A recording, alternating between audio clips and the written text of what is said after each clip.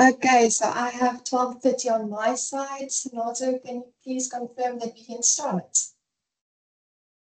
Hi, Melandie. Yes, we can start, please. Awesome. Okay, hi everyone. Uh, thank you so much for uh, setting aside time for me.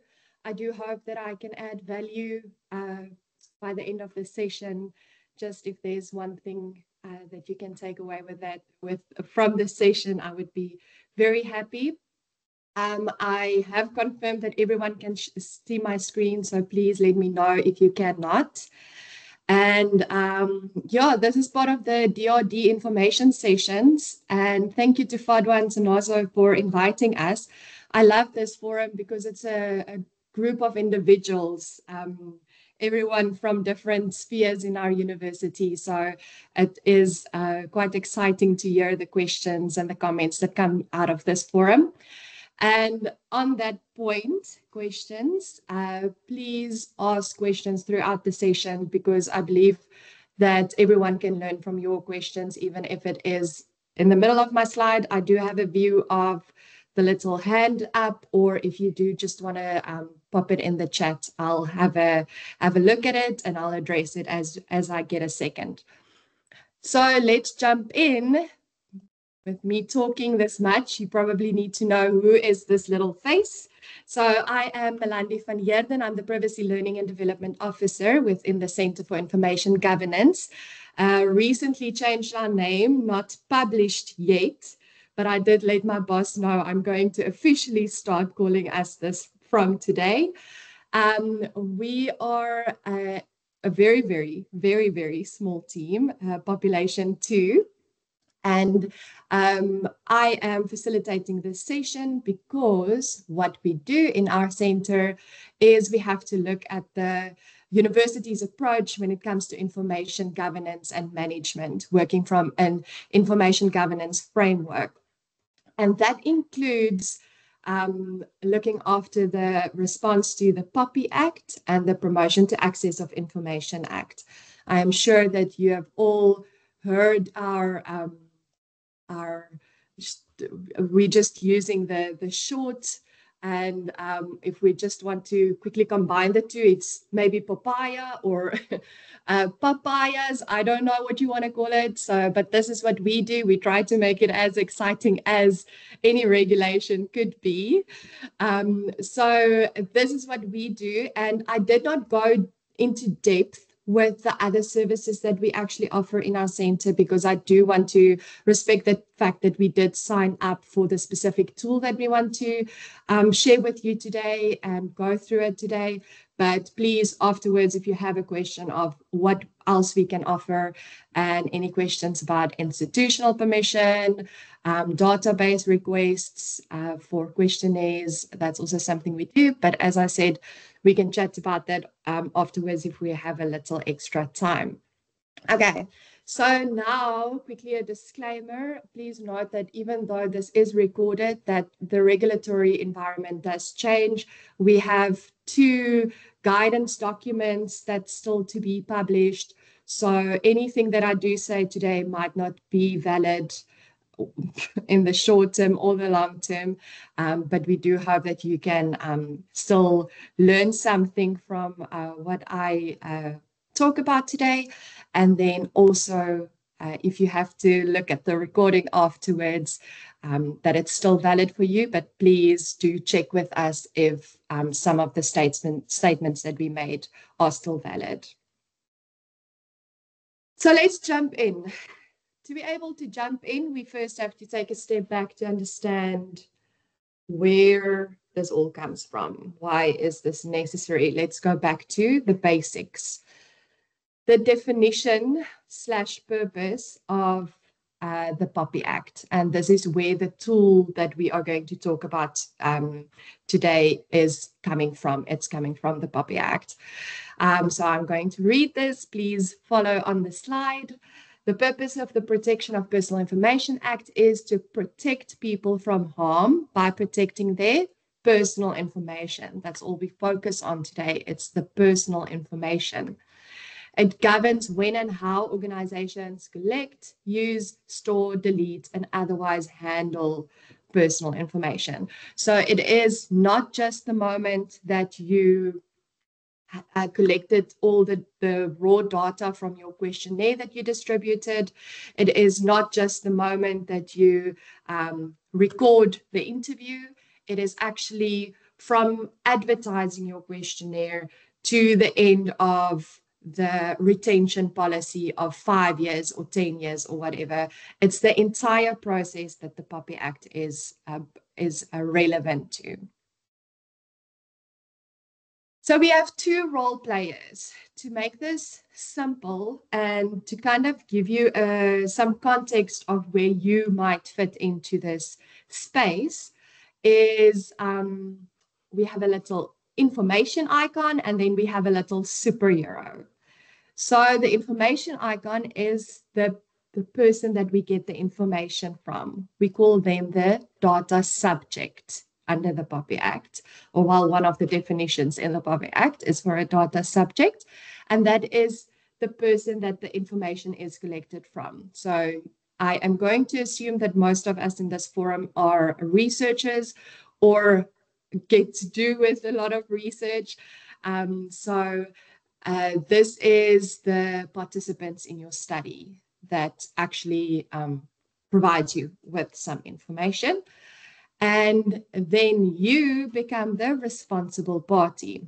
Uh, I call this the super protector because that is under the POPI Act what we want you to be. You are become the super protector the moment you get a list of email addresses. The moment they submit the questionnaire to you, you become the responsible party.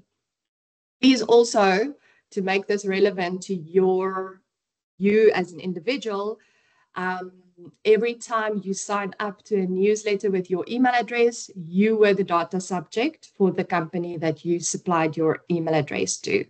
And they become the responsible party. Just a, a very um, simple explanation. Okay. So, what is the real risk? I tried to make this not scary.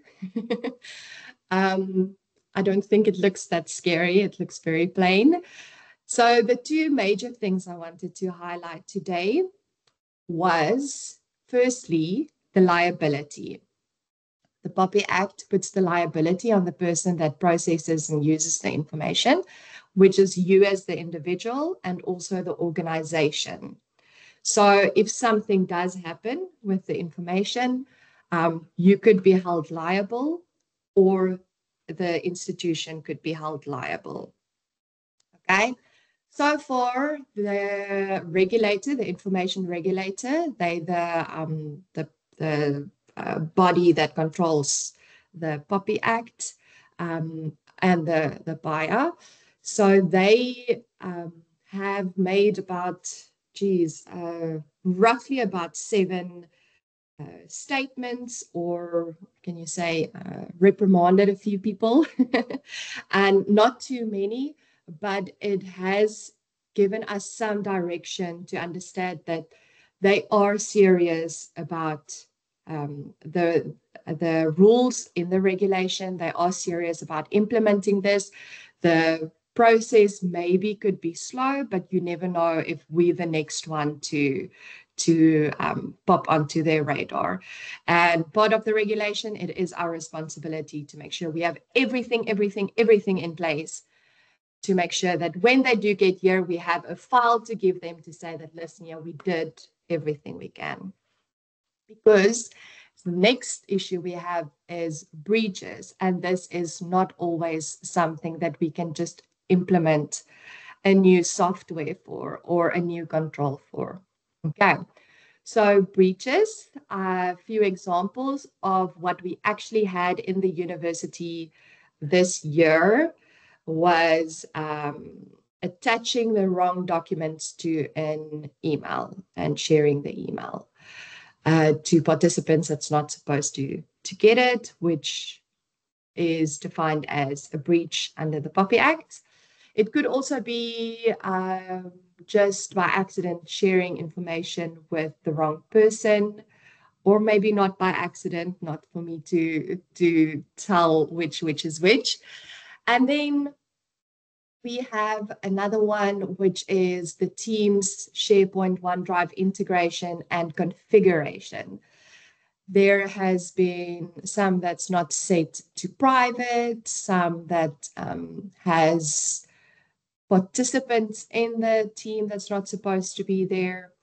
So if there's one thing you can maybe take away today, go and look at the, the teams that you are an owner of and just make sure it's set to private and everyone that's on there is supposed to be there. Especially if someone maybe left the team or moved and does not have the, the, the same capacity um, to still have access to that. And then the third one is technical, but in this specific example, IT is doing an amazing job to try and cover us as far as possible to avoid the human error because unfortunately a lot of our breaches does come back to human error. And a lot of um, we are a, a very uh, human focused and driven institution. And a lot of what we do depends on the actual person behind it. And um, for example, something that IT has done recently is the password regulation. I know we're probably not that excited about it, but it is a very, very good regulation to um, get up to speed to make sure that um, we cannot be hacked easily because hackers just get smarter and smarter. The other one is if you do create a new team now, it is automatically set to private, which is great.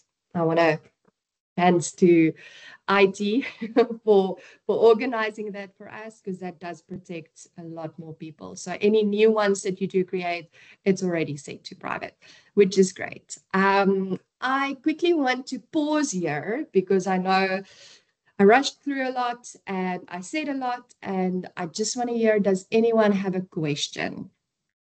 This was just more of a this the introduction phase to what we are going to talk about next. And just put up your hand, or if someone wants to write something in the comments, I'll give you a second.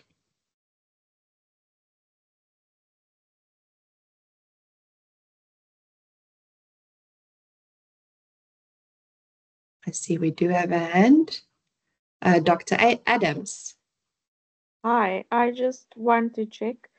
Um, when we have student examination papers or test papers where their names and surnames are on a student number, um, how does one safely then get uh, get rid of it?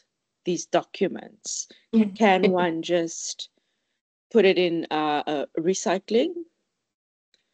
Um, I, I worry about if somebody gets access to information, I'm thinking to what extent can you actually use that student's information for something? But I'm, I'm just curious about what we can do if this is in fact something that could potentially come to a breach if you were to put papers in recycling. Yes. What okay. other options are there? Okay, so you said we're working with a name, a surname, and an SU number. Yes. Okay, so that's the personal information that we're collecting. And then also, obviously, the answers could be personal opinions or um, something like that. Okay, so I'm going to put this question on ice because with the exercise that we'll be doing, we might get some answers through it because um, the personal information that we are collecting has um, certain value to it. And then I'll chat to to to to, to um, our archives officer. She has uh, the retention policy. I'm sure it's available as well, but then we'll just uh, check with her what um, they recommend we do with it. Um, I'm not 100% sure about this situation specifically. So I'll just rather go double check and then come back to you with an answer in terms of um, how we dispose of it.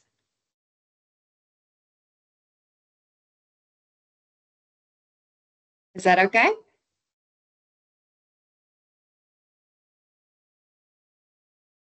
Yes, thanks. Okay. Okay, so let's see if we, if we can get an answer by the, the end of the session for you. And then in terms of the, the archiving or retention or um, disposing of, um, I'm sure we'll get an answer for you afterwards. Okay. Okay, so um, any other questions? Thank you so much for your question, Dr. Adams. Any other questions that we have so far? I don't see anyone, anyone's hands or anything in the comments. No. Okay. So let's go on. Everyone's very smart here. So everything I'm telling them, they probably already know. That's probably why we don't have questions. Okay. So I'm just quickly making that note. Moving forward, now we're jumping into the tool. Uh, I have posted the tool in the chat. I've copied the link as well and the PDF. So whichever one works for you, the link takes you directly um, to our website copy and the, the PDF is the, the exact same one. I made sure to download it this morning to make sure we have the most updated version. Uh, just give me a, a thumbs up if you could download it and have it open next to you to be able to work on it. Okay, I have a thumbs up, two thumbs up. I'm going to assume that's enough for the rest of the group. Please stop me if you do struggle. Okay, the preliminary personal information impact assessment. It's a very, very sexy name. I know everyone wants to take this name. We are just going to refer to it as the PPIIA or maybe if I feel very brave, I'll just uh, use the full name or just impact assessment going forth.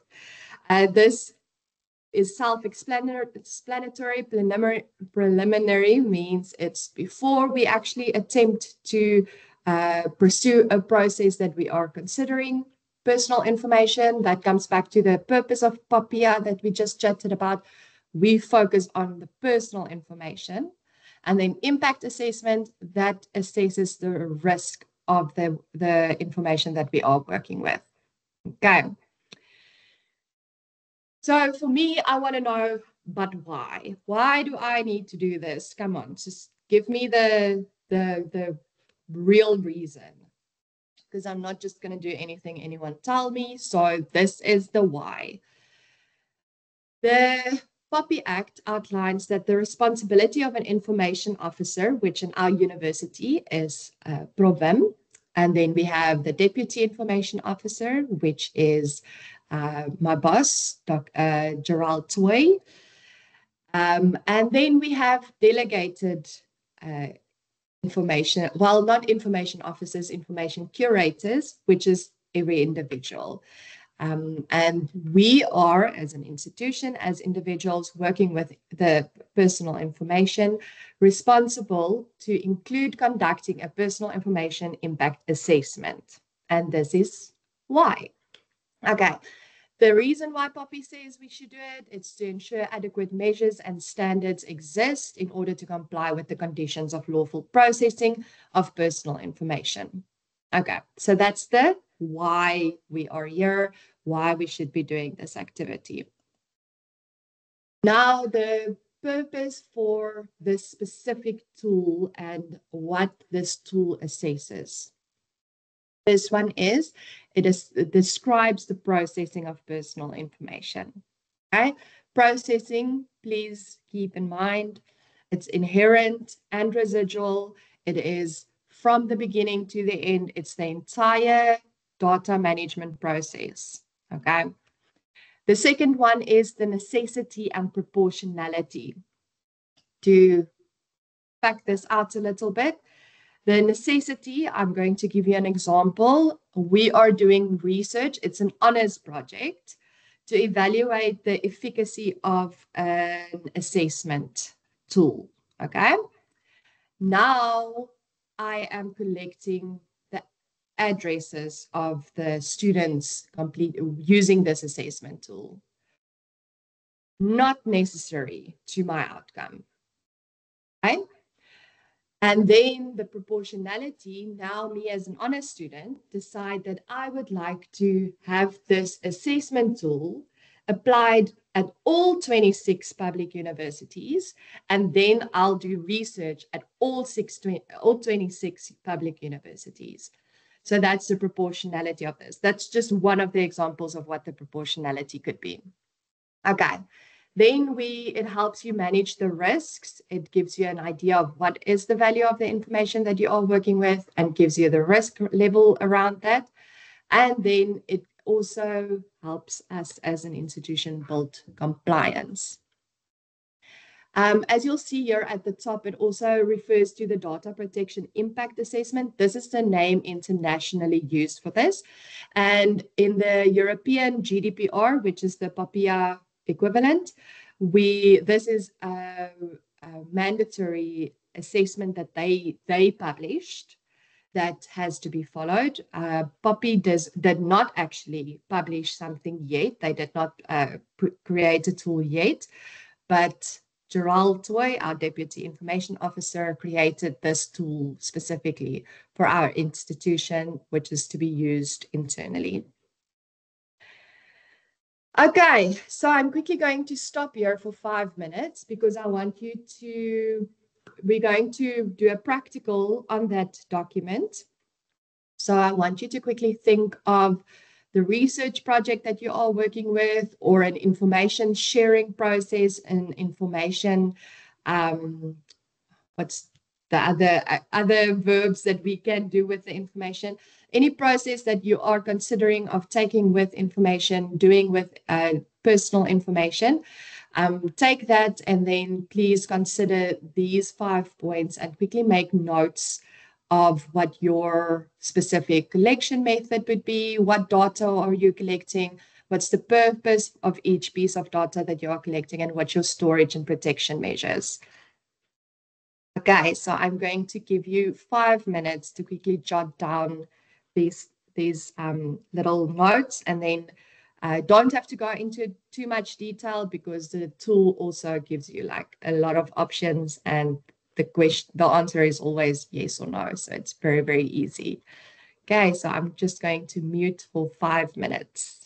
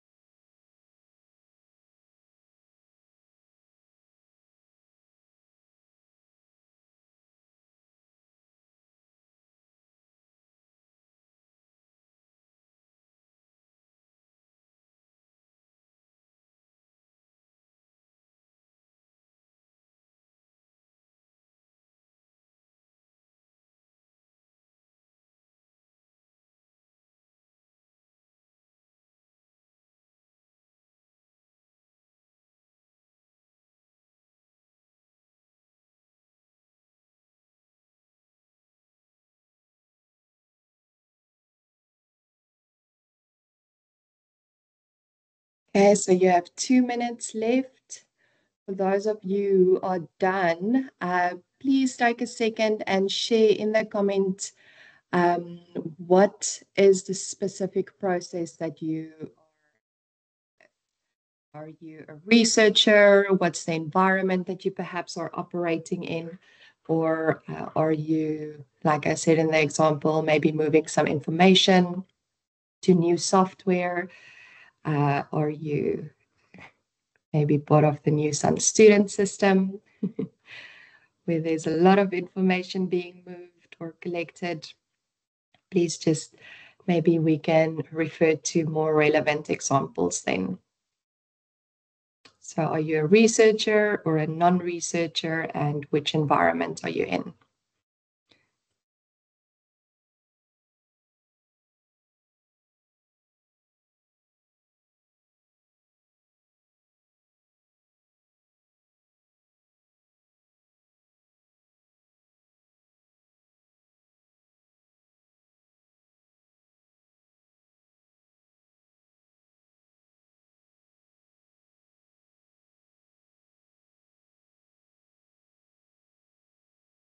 Marika, are you in bursaries office?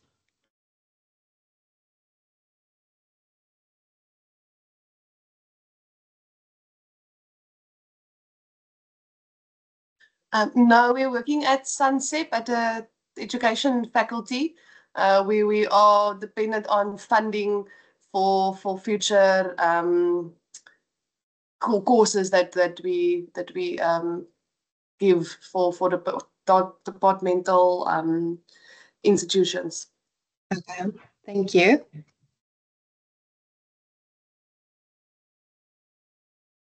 Okay, so that was my my alarm. so the five minutes are done. Like I said, don't have to go into depth. We just want some information to be working with um, to be able to do this quick assessment. Okay, we have another researcher. Uh, please continue sharing the environment that you are operating in. I would like to, uh, if I do use examples to try and pull it back to what you what you are working with. Okay, so I'm going to assume that everyone has this information. I know it's very vague to say just collect this because I know as researchers, you probably already started typing an essay for me, um, but no need.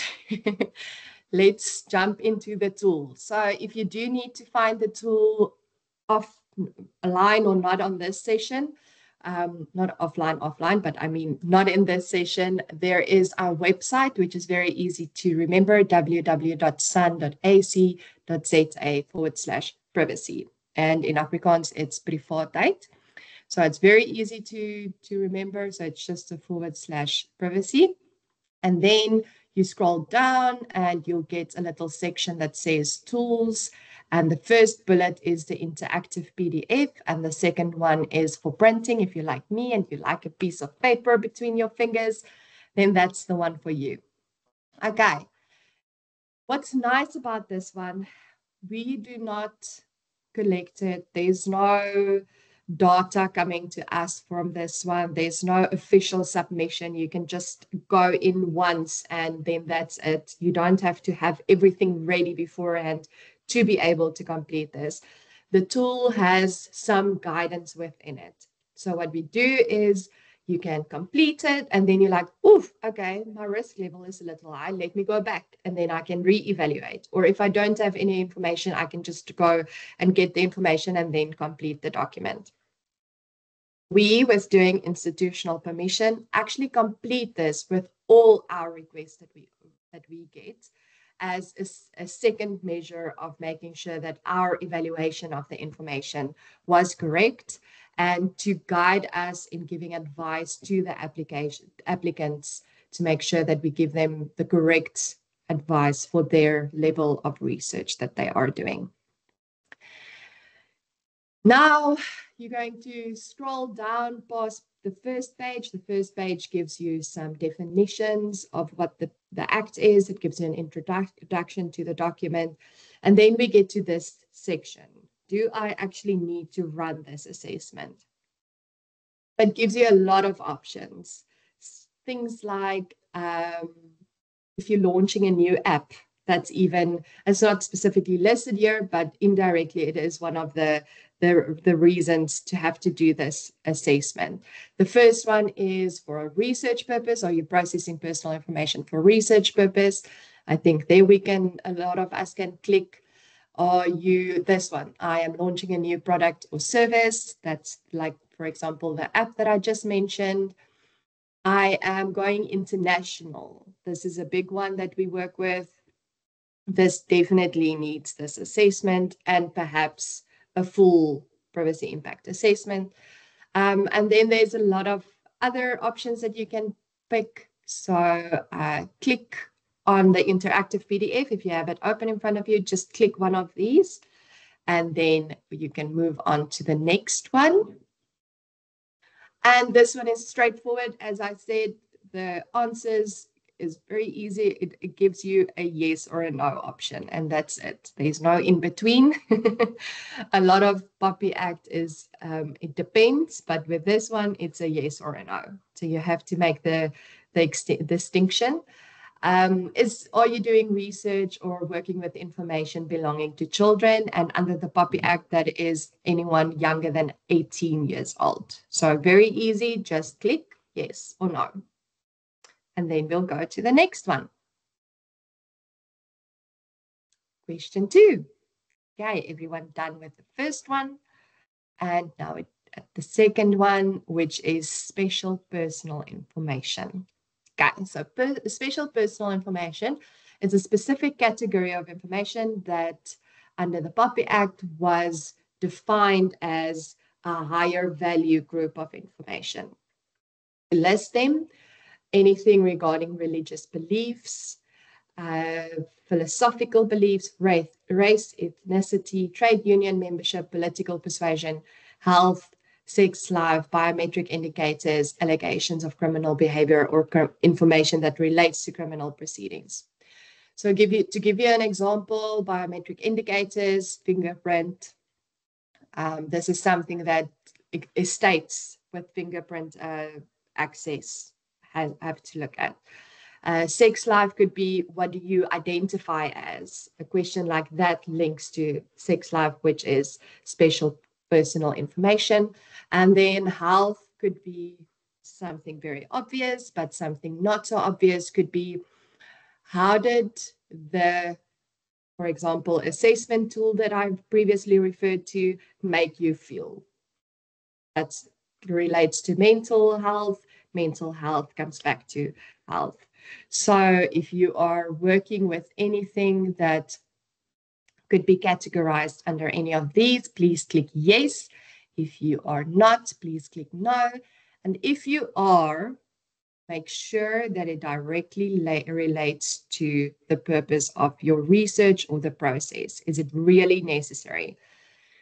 That's also what this tool is supposed to is doing. It makes you think, is this really necessary? Because if I click yes, it's immediately going to up my my level of um, risk that I am working in. And if I click no, I can avoid that. So maybe it is as simple as removing the question. Maybe it is not. Then just make sure you have a good explanation for the purpose of collecting that specific information. Okay. Everyone good with this one? Move to the next one. Um, then we have unique identifiers. So this is a second category of information, which is under the POPI Act as higher of value. Unique identifier, we have made it very easy for you and once again listed a few common unique identifiers, which is in the second paragraph. It is bank account numbers, policy numbers, ID numbers, employee number, student number, telephone and cell phone number, email address, because you can only create one email address with that specific name. So that becomes a unique identifier, and then any type of reference numbers. In some instances, even a person's uh, name and surname in a population could become a unique identifier because it's unique to just them. We don't necessarily just uh, throw it in here because we don't see the entire the uh, entire population list of names and surnames, but that's an example of how the context within POPI Act changes and it, it depends on what's the other information that you also work with. But with unique identifiers, if someone um, has, a, let's say, for example, my employee number, they can get an email address as well. And if you're internal, you can probably start sending me an email. You can see some information on my, my Microsoft account. Um, so that that's just an example of it depends on what of what else goes with that information. So when I come back to that exam question questionnaires that we completed, we now have a unique identifier on them. And in combination with the name and surname, that's definitely high value information. So we have now evaluated, evaluated this specific one. We have identified that it falls into one of the higher value categories. So that just gives us something to consider moving forward with that information. Like um, like uh, the doctor said, that we have to um, we have to understand what could be done with that information afterwards. Okay. Uh, to think of an example, something that's been done before is to just take the name and surname and send to other people that might know that person an email to say, quickly, quickly send me a voucher from from wherever because I don't have food. Or, um, sorry, that's a very sensitive topic. I'm so sorry to have used that example. Um, but that's the that's the type of uh, things that hackers do and people that's malicious do they they use they work on on your emotions and they use the the specific name and surname or um, now they include the the person's SU number and send it to one of our our um, admin uh, departments and um, this starts to look legit because now we have a name and a surname and we have this SU number. So this person uh, knows some things about themselves. So maybe they are legit. Maybe they, they really can request a statement of assessment or a statement of their finance.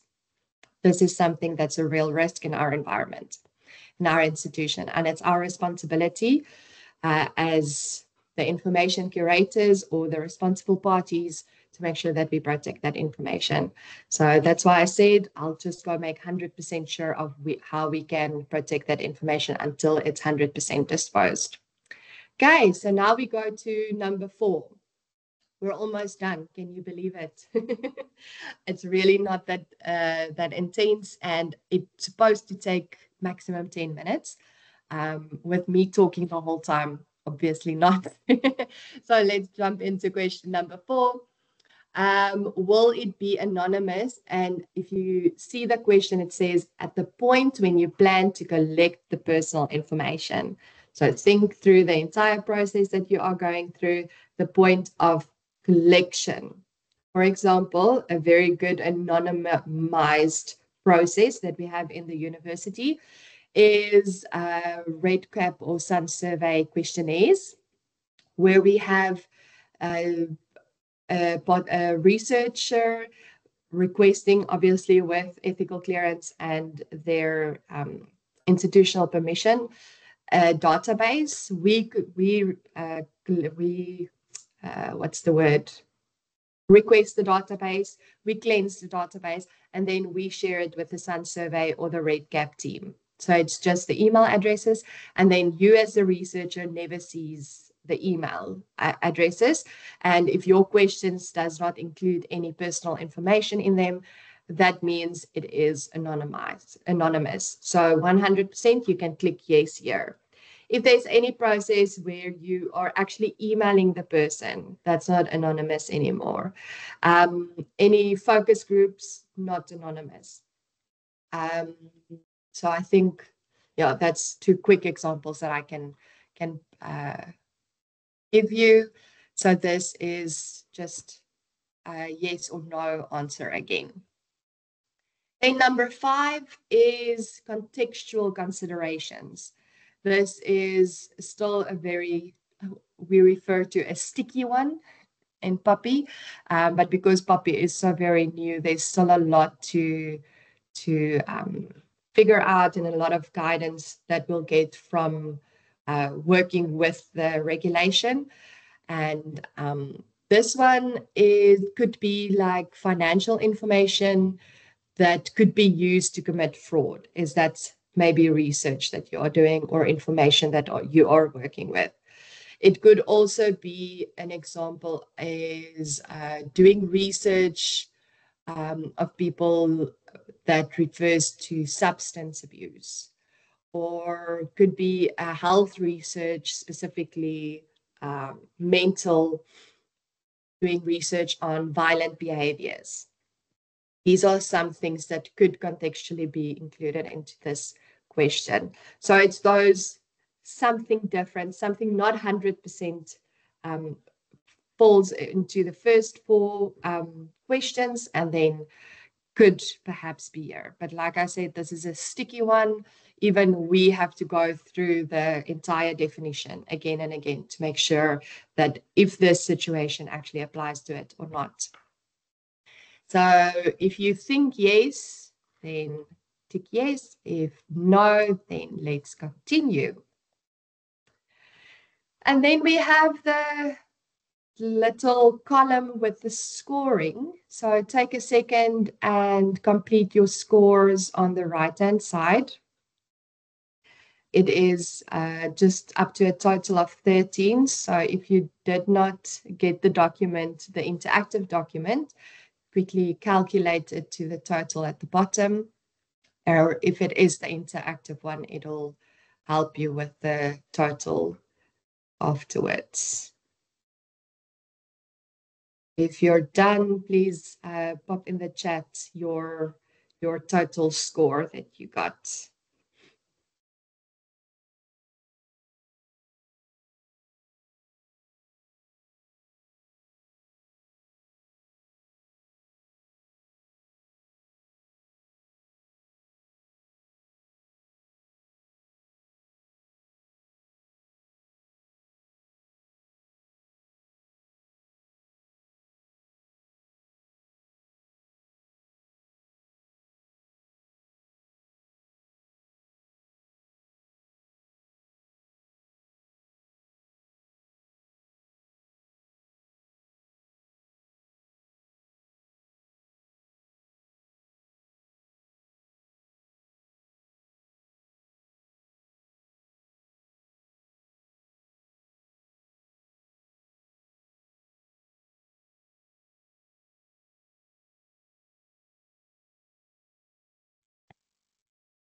Okay, so either everyone is a little shy or still calculating.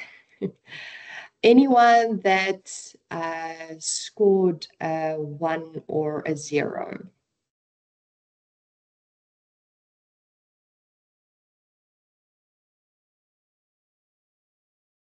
Okay. So let's move forward and then we'll see the, the categories of information.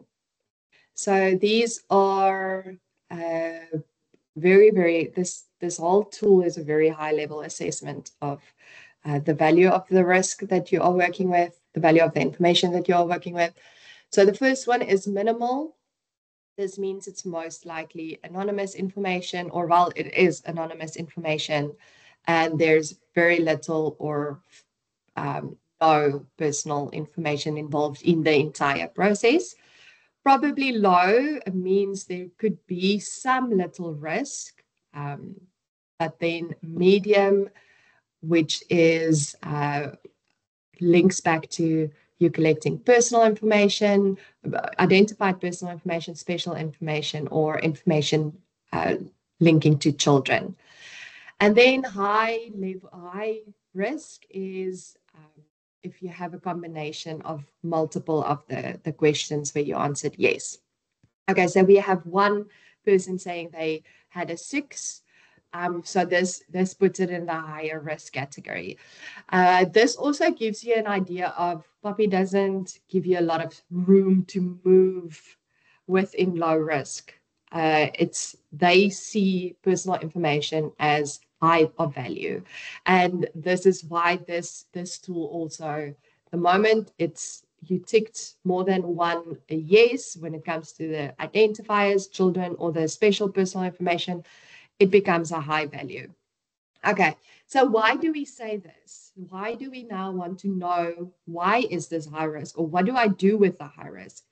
High risk, the first thing is go back, evaluate, make sure that there's a good reason for collecting each little piece of information. It's a way to just make you think and to understand that there, there is more value to what you are working with and then just go back and evaluate everything that you are that you are doing within the process. The second one is how do you protect your information afterwards? Make sure that you protect it well afterwards and throughout the entire process.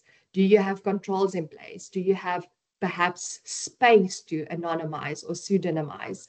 Do you have some space to aggregate some information? Do you perhaps have uh, some opportunities to give brackets for answers? For example, when collecting age or when collecting, um, uh, what's the other options that we have? But could you could you rather request it in a bracket than in specific numbers. So these are all types of controls that we could consider. But with this, it just gives you some direction to move in. And like I said, go implement some new controls, go consider uh, collecting different information or asking your questions a little differently. And then you can always redo this. So now we're never going to say no, it's high risk, you're not allowed to do it. That's not that's not how we work. We're just going to advise you on what can you put in place to actually mitigate the risk that you are dealing with. We could also um, recommend that you use the SU software that we offer. This is OneDrive. This is, uh, like I said, Sun Survey, REDCap. These are the tools that we recommend because Stellenbosch University has an agreement with these softwares. It is um, SharePoint, it is Teams. Um, MS Forms is even okay if it's low risk study. And this is all that you probably uh, did familiarize yourself with when you did your, if you did an ethical ethics application or you worked with uh, research uh, before. Okay, so this is a separate consideration of the impact assessment. And this process takes very long. And this is the prior authorization that needs to be requested from the regulator. There's two scenarios where this could be uh, relevant. One is if you are using unique identifiers to link information in different databases in different um, organizations, for example. And then the second one is to special personal information or information belonging to children is being transferred internationally. So these two very realistic scenarios does happen, especially when there's international research being done or there's all databases being collated into one big database. And that is the entire tool. So I'm just going to now jump to, uh, please ask you to quickly complete the feedback form. It literally takes a minute. I've timed it and I've, I've had some other people time it for me. Um, so if you can quickly complete this and then while you are completing it, um, please feel free to ask me questions. I know this is a is a very weird, uh, weird environment to be operating in. And I don't want to assume that everyone just understands everything. Um, that's why we're here to answer questions. Uh, yes, Hayla, I see you have a question.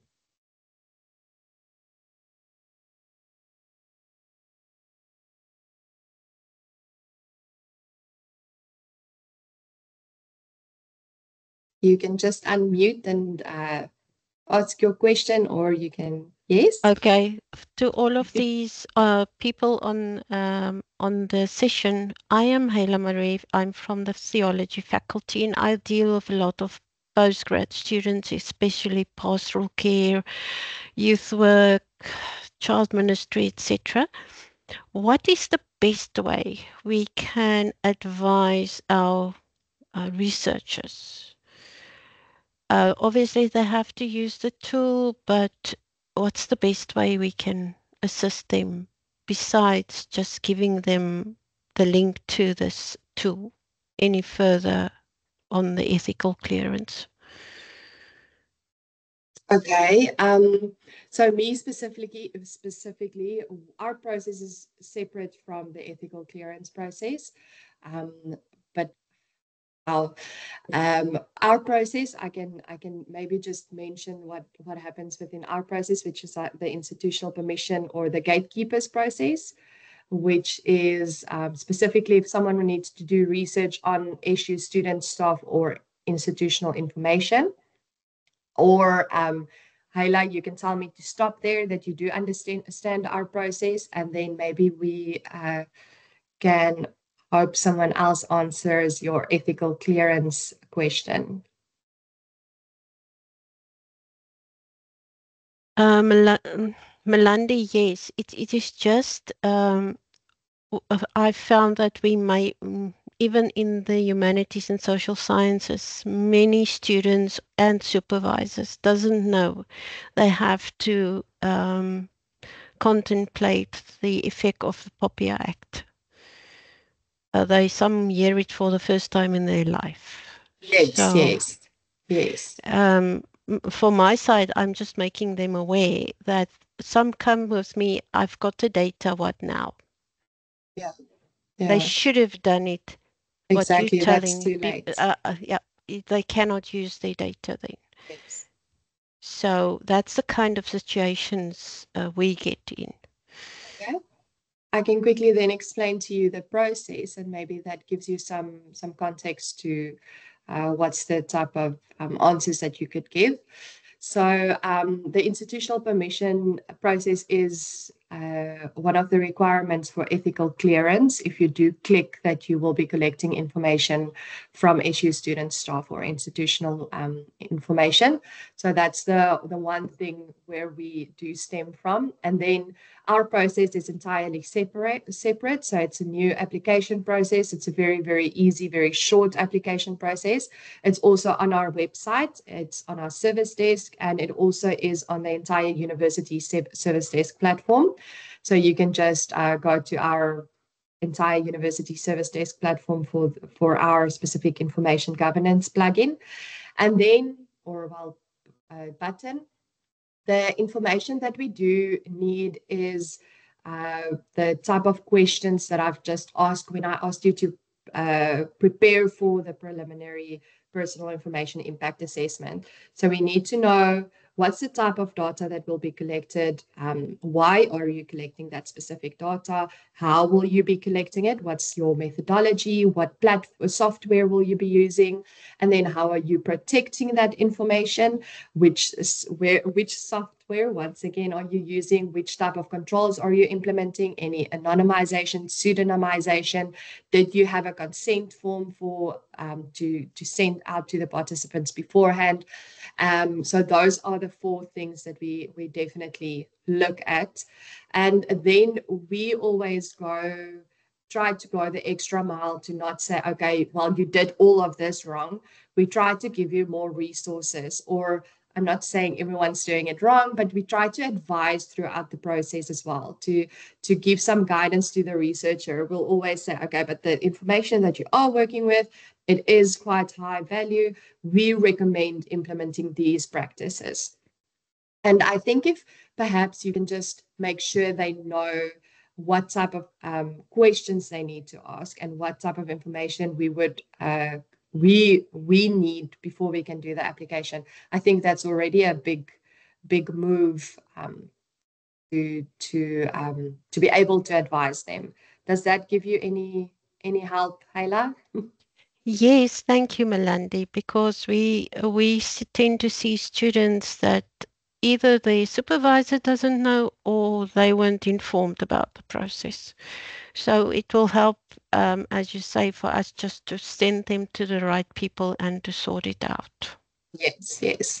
Thank you. And, and if you want, please let me know afterwards. I'm more than willing to um, come and have a session with you or with the students, or if you ever have a, a forum where everyone, um, all the supervisors perhaps are, I'm more than willing to to um, come and do something for the group specifically, or I can share an email with just an explanation or something as well. Okay, thank you so much for that. Thank you for your question. Any other questions or uh, just comments? Uh, you'll also see at the end of the feedback form, I'm asking like what what extra questions came out of this session. Uh, I cannot share everything that POPI has to offer or push everything down your throat um, that you need to know. Um, that's why we do it in tidbits, in little bite sizes. But this is uh, uh, one of the the big bite sizes for for you to be able to use as you walk out of this session. Any questions or comments? I think then that is it. Nazo, over to you. Thank you very much, Melandie, for the session. Thank if you, you. are done, then we can. I am done. Okay, thank you. Then that is all for today.